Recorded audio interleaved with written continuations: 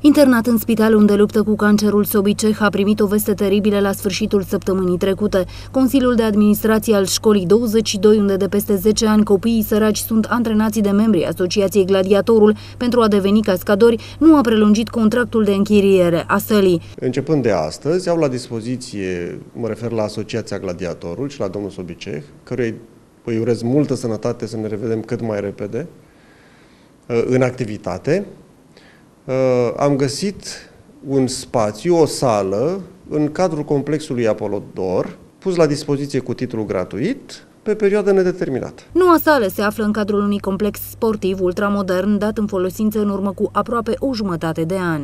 Totul este nou, uh, sunt uh, saltele de diferite dimensiuni, vestiare de fete, vestiare de băieți, aer condiționat, grup sanitar.